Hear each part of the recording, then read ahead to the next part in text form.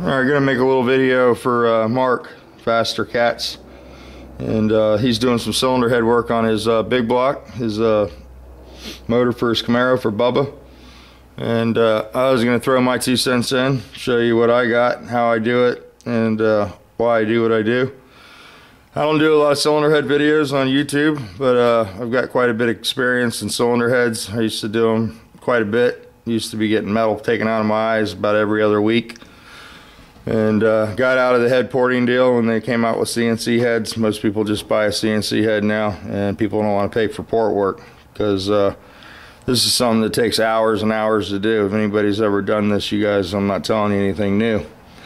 A uh, couple things to consider if you're doing a street big block with today's fuel is the uh, combustion chamber shape. Uh, closed chamber head yields very high compression even with a flat top piston. So you might want to consider the uh, compression ratio before you go too far on those heads. Uh, the other thing is the valve seat. Uh, you can see this is a 049 head and uh, it's got aftermarket unleaded valve seats installed in the exhaust because these are uh, not hardened seats from the factory. They rely on the lead and the gas from the 70s to lubricate the valve seat.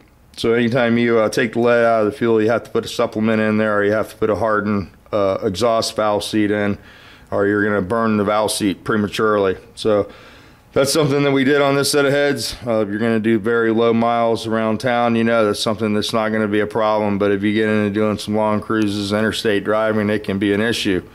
Uh, the lead also lubricates the valves. Uh, uh Mark said he got bronze guides; they're self-lubricating, so that eliminates that problem. But the seats uh, are not hardened in the factory head. Uh, the 049 is the head that I like. Uh, the other head of choice in the oval port would be the uh, 781, which is uh, that's what this set is here, 781s. Uh, they have a pretty good uh, combustion chamber design there. They have a large intake and exhaust valve and a, a decent runner. They're the uh, large oval ports, not the medium or the peanut plugs that are found on the RV situation or trucks. As far as uh, port work on a big block, the most critical area would be the uh, valve seat area. When you take a look at this head here, this is uh, the head that I just cleaned up a little bit for demonstration. But uh, if you zoom the camera in there and I can hold it steady, you can see this uh, machined area. This is a ledge that's right under the seat. And you can put your hand in there and feel that ledge. That needs to be eliminated to increase the flow.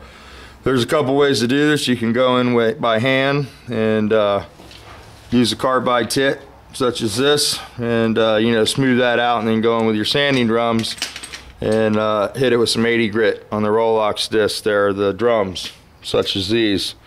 Uh, you can see this set of heads has been done. This is a set of 49s for my Nova. Uh, let me see there. You can see there's no uh, obstruction under the valve. So when the valve opens it's flowing. And uh, that's about 30 40 horsepower on a dyno and probably about 30 points or numbers on a flow bench. Uh, this, the seat area is critical. Now you can use the uh, carbide tip like I referred to, or you can take them to the machine shop and they have a fixture that is run off the guide there and it's called a bowl hog. And what it does is it goes in there and machines under the seat. Usually if you get a performance valve job, they'll incorporate that into it because if you got a shitty bowl, it doesn't matter how good your valve job or your port is, this is gonna interrupt your flow and cause you trouble. So, you know, you should almost be a straight shot when you're done in there. Uh, this is a street port here on this head. This is a set of oval ports. And uh, that's the finish that I leave the ports in. I, I leave them in 80 grit. I don't know if you can uh, See down they're pretty clean. All the casting flash has been taken off. The bowls have been done. They're ported all the way through. They're not just uh, funnel heads, as a couple of the YouTubers refer to some cylinder heads. There's a couple YouTube uh, cylinder head guys, and uh, they have some really good videos. I want to try to get some of those guys, and I'll send you a link to some of them, Mark, because they have some really good tips on uh, the type of cam you're going to run, the low lift type of uh, performance, and uh, you know different tricks you can put on the valve seat angles and stuff that uh, complement that type of cam. Uh, this is a set of 781s. I think you know personally, I know that you want to use the closed chamber, but uh, I would uh, give you these heads if you want to pay for the shipping, the 781s. This is a good set of castings I have. And again, it's the the nice oval ports. You can see they're they're almost gasket matched to the Fel-Pro gasket right out of the box. They're uh, really nice. The water jackets are really nice on them. And this is a preferred head to a couple of the guys that uh, do some big block stuff on YouTube. They like the 781 oval port. Uh, it would probably be better suited and you're probably going to have a much better piston selection. These have much better flame propagation than the closed chamber. They don't have a, a, good flame travel and uh, they can be hard to tune on the street, especially with a 110 lobe center. It can be uh, a pinger, you know, it could detonate uh, if you don't get the cam timing right. So uh, that's sort of my take on the uh, finish on the port. You know, you don't want to polish it. These exhausts have been sitting for a while. They're ported too, but they're smooth, you know, and you can polish up the exhaust port to a high polish if you want. You don't want to polish the intake unless you're going to turbocharge, you know. You want to leave it in the 80 grit finish, the sanding roll. Uh, a lot of the guys uh, and the super stock guys that I used to mess around with when we used to do a lot of flow bench stuff, they uh, went as far as to leave them in the uh, intake ports in the uh, burr, you know, in the carbide bit finish. And uh, if you look at a CNC port, it has that same finish, you know. And a lot of guys say that atomizes the port a little bit. And, uh, you know, I don't know. I, I, say when you go in there with a grinder and you port it, you can always pick the numbers up. When I worked for Brad Anderson, we used to uh, have the CNC ported Hemi heads, and uh, they were pretty nice right off the CNC machine. But you could always go in there and enhance the turns and clean them up a little bit and make them work a little better. So the main thing is to get them smooth. You know, make sure your spark plugs are nice around the plug. Put your plug in there, smooth out your uh, your uh, combustion chamber so you got good flame travel. And uh, the other I can't stress is the uh, bowl area is the most critical. You know, you really don't need the gasket match and stuff. The bowl is where it's all at, unless you're going to get in there and you know open the port up a little bit with the carbide tip. You're not going to remove a lot of material with the sanding drum, and if you try to remove a lot of material with these, you're going to find that it's going to get wavy on you, uh, like tinfoil waffly. The other thing that's really critical that I can't stress enough if you're going to run an aftermarket valve spring and uh, a camshaft with any kind of lift on it is uh, you know a stainless steel valve, uh, something that's not two piece. Uh, a lot of people don't know that most passenger car valves are two piece. They have a head and the stem, and they're bonded together. And uh, that pulls off if you add spring pressure. Uh, that's when the problem shows up. That's why they go to a stainless steel valve, one piece construction. And uh, that's why they say one piece. You know, a lot of people are like, well, all valves are one piece, and they're not. Uh, this valve is uh, reduced at the stem. It's a ProFlow. Uh, I believe these are Manley. These are sort of expensive. Uh, you can uh, get a really nice valve spring valve and valve guy or uh, seal kit combination at competition products. They have some really good stuff as far as uh, valve combinations for pretty reasonable. Uh, you can buy a stainless steel uh, set of valves for i think under $200 you know from them. And it's really good insurance because uh, nothing's worse than having one of these valves hit the piston and uh, you know break the head off. That's what happened to this motor uh, didn't damage the guide or anything. The valve was so weak that it hit the piston, exploded the piston. It was cast, and uh, you know he didn't have the spring set up for the high lift cam. And when it broke the spring, it dropped the valve down into the uh, cylinder far enough where the piston intruded onto it, and it detonated the piston and uh, snapped the head off the valve, and uh, didn't damage the heads at all. So you know if you'd like these heads, I started cleaning up the combustion chambers and started looking at these because uh, one of my friends on YouTube that does a lot of head porting said that uh, these were a little better casting than the 049s. And I've never had a set of uh, 781s and I was going to give them a try. But, uh, you know, if you'd like to, uh, you know, use these heads and, you know, you think the compression thing, I would definitely check the compression and try to come up with an idea of, you know, your deck height and a rough idea of what your compression is going to be before you slap those on because uh, you know it can make the difference between a car that's uh, drivable and a car that's not drivable and you want to be able to drive your project you know? Uh, if you're going to have to buy race fuel it's not going to be any fun you know? Uh, that's the deal I have with this baby. I have to run 118 in it and it's uh, $17 a gallon now so uh, now's the time where you can make those decisions. You know, uh, you know, just do a rough calculation of where your compression ratio is going to be, and if pump gas will support that. You know, uh, if you're going to run those closed chamber heads, uh, you almost have to run a dish piston with those to get the compression to a, you know, a 93 octane suitable thing. Uh, but uh, these would be a really good deal for you. And I know you're on a budget. I could bow job them for you before I sent them, you know. And uh, I don't want to do free port work. You can do that. but I'll definitely do a valve job for you on them and uh, bolt them together and send them your way if it's something that you think you might be interested in or uh, need after you calculate your compression. So that's uh, just a tip. I've used these 049s. I've got several cars. I think I showed you Ron's Nova, and it runs 1060s with street tires and mufflers. It's uh, 60 over 54. It's got a like 607 lift uh, roller in it with a Dominator on it, 1050 Dominator. And it runs 1050s pretty consistent, and it's got a set of oval ports. And uh, I didn't do the heads on Ron's car. Uh, actually, a guy Jim Fitzpatrick, that's a famous head porter in our town. He uh, messes with a lot of super stock stuff, and him and Ron had a cylinder head shop, and they actually spray welded the intake ports smaller and uh, picked the airflow up on those heads. Uh, Jim does a lot of that weird stuff with the super stock guys, you know, shrinking the port, uh, the velocity instead of uh, volume. So uh, they work good on Ron's car. I'm curious to see if these are going to be faster. I'm pretty sure they will be. And, uh, you know, that's my goal. My car's always got to be faster.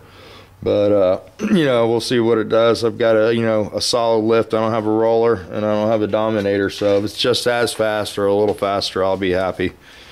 I'm running a 850 on this motor with the uh, single plane open plane manifold Victor Jr. And, uh, I think my cam's pretty much in the same uh, band as yours, maybe a little bit higher, maybe 7,000 instead of 6,500. I do have a brand new thumper cam too that I bought for the uh, big block that I was going to use. It's actually in it. I have the uh, comp cam lifters there, and it's the, the, the medium thumper. I think it's like 500, 499 lift. You know, I'm going to be getting rid of that and buy springs because I already had springs. Usually get all my springs and valves from uh, competition products. You can check them out. They have a really good site and uh, their springs and their valves are pretty reasonable. They have all different brands. Here's the uh, spring that we're running on the big block. Right, these are doubles.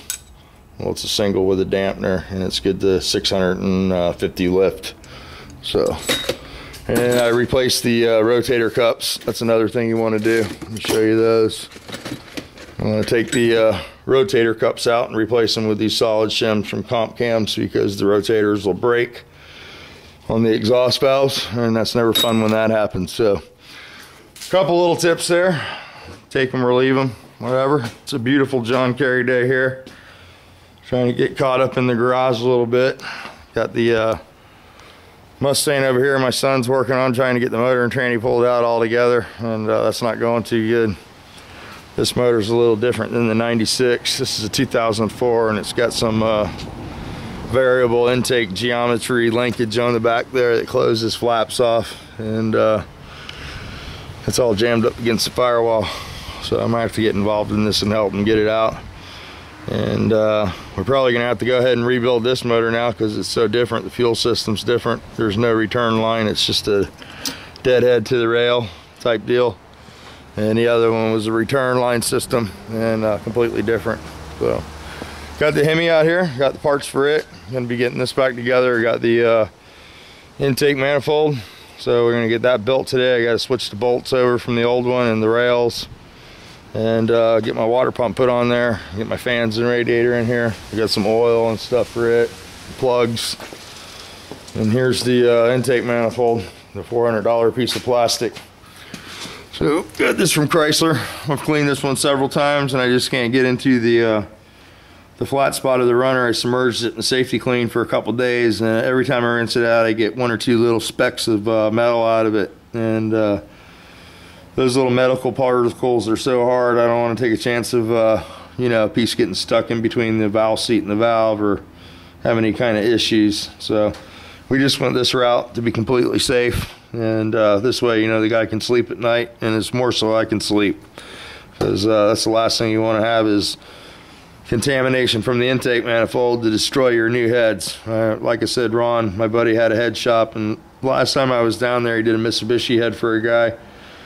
And uh, he had the mechanic put it on, and they fired it up and pieces out of the intake manifold went into the cylinder head and it looked like a ball bearing got loose in the motor and uh, destroyed it and the guy was all upset with Ron over it and uh, that's a common problem man you, you know the intake manifold is the uh, nesting place for all that debris that comes out of the cylinder head. It lands in here. Sometimes you can access it and sometimes you just can't get to it. And uh, that's the case with this manifold. They're very hard to clean. You have this front section here that just dumps into the plenum and then these uh, these rams just dump into a floor and you can't uh, you can't access the floor. So I feel better about this with this one. We'll go with that. I'm uh, I gotta figure out how to get the bolts out. That's sort of uh, looks sort of tricky we'll figure that all out and get the rail changed over and a few little uh, snap-on items and that'll be that still got this sitting around got uh get some help lifting this up and uh, getting the pan seal on it. I've been concentrating on the uh, Magnum though. So, and then I got Ken probably he'll come by tomorrow. I don't know if he's coming tomorrow or not, but he's supposed to pick up some uh, parts today for this. I got the rocker shafts built for this. I got to shim a couple more rockers and you know just fine tune them a little more. But uh, we need a header for this and uh, he's picking up some carb kits for the K-Rons. We got to rebuild those and uh, stuff like that. Pretty much close on this one. So the sheet metal goes pretty quick. And then I got to drill a broken stud out of this head. I don't know who did that. I think I did. But uh, I got to get that out of there. And uh, yeah, there's my intake manifold over there for the, the big block. But anyway, let me go ahead and shut this down. Like I said, it's a John Kerry day here. Hope you guys are uh, warming up wherever we're at. I know there's some really nasty weather. You guys got some ice. Hopefully you get your power back. Hopefully, uh, you know, you're staying warm.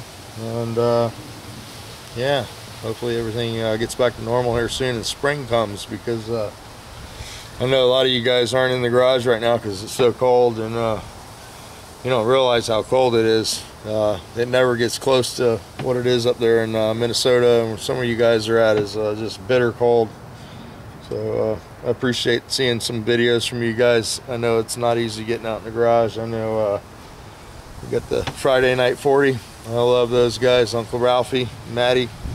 They were out there freezing in the garage last night. They said it was like 31 degrees and I don't usually go outside when it's 31 degrees. I try to stay inside because uh, I don't think that tarp was giving them much insulation. But uh, it's cool of you guys to make snow videos and uh, go out when it's cold like that. It keeps uh, the videos alive on YouTube because it can get pretty slow when it gets cold and the weather gets shitty. So anyway, let's uh, turn this off. I'm babbling. Took a look at that hood this morning and uh, I showed you a couple projects. I got the Honda in there. I want to try to get it done today prime today at least. I've been working on it. And I might turn the camera on and uh, throw some videos up over at the paint stop. I haven't put a video up on that channel for a long time so I might put some uh, Honda videos up over there spreading Bondo and uh, doing some work on it.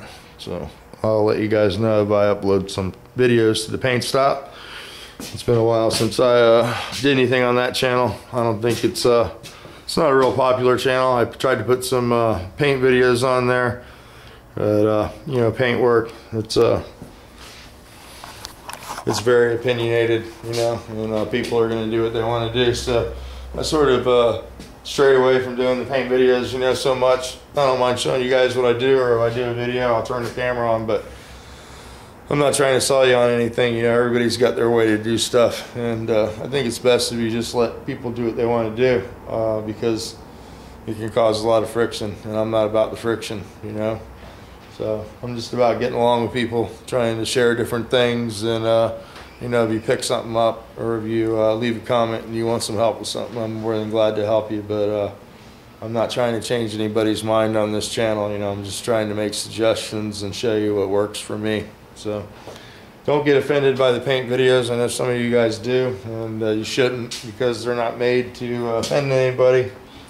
And uh, hopefully they help more people than they offend. And uh, you know that's just how it is with paint work. You know we're all going to have different opinions on it, and, uh, and that's just how it is. So that's why I sort of stopped making the uh, how-to paint stuff. I know a lot of guys want me to make those some more. And I think that's why a lot of guys stop making them to tell you the truth, you know. Uh, I'm not going to speak for people, but, you know, I do talk to some people on YouTube that uh, some of us really enjoyed watching that don't make videos anymore because they, uh, people are very opinionated when you do uh, paint videos or, you know, show different products and show different procedures that you use when they might be doing it a different way. And uh, so, in, in the effort to not offend anybody or uh, rub the grain the wrong way. I tried to uh, scale back on those kind of videos. So, and uh, you know, it started out with those videos for sure. I used to do a lot of the paint stuff and stuff, but uh, you know, the garage has become a lot, lot more than just paint videos. It's uh, it's a bunch of guys that have made some really good friends. Uh, it's more about sharing different projects, just showing our process, and you know, like I said, if you pick something up from it, that's cool. And if you don't, rock on. So uh, here's another set of heads I wanted to show Mark. This is some CNC heads I bought. And uh, that's the finish that they're putting on the intake ports. Uh, these are CNC ported and they just go in there and, you know, dust it up with the uh, 80 grit drum. So this is sort of the, uh, the finish if you bought a set of professional heads that you would see. And uh, so I think you were on the right track with what you were doing. And uh, the main thing, like I said, is the bowl area, you know. The more that you can uncover that valve and unshroud it in the combustion chamber, the more power you're going to make. So the important part is the under the seat area. And uh, usually you can get somebody to run a bowl hog, bowl hog through a head for, I think, like a hundred bucks, you know. And uh, it's a lot cheaper than grinding. Uh, I don't know if it's cheaper than grinding because, you know, grinding's free until the metal gets in your eye and then there's always that time thing. So uh, a good consideration would be the bowl hog. Throw it in there and uh, let them machine the uh, under seat surface, and uh, that'll definitely uh, give you a big boost in your uh, performance, more so than matching the intake ports. So anyway, I'm gonna shut this down because I'm babbling on, rabbling on, and you guys have a great day.